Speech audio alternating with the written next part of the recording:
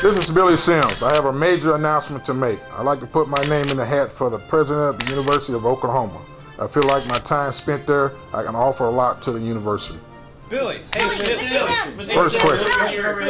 Is it true you love OU fans just as much as OK State fans? I love all the fans of Oklahoma, especially OU fans and state fans. Billy, over here. I got one question.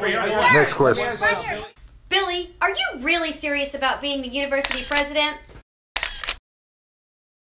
Well, not really. I'm just trying to sell some barbecue to all the fans in the nation, and hopefully some of these uh, "Make Oklahoma Great Again" T-shirts and hats.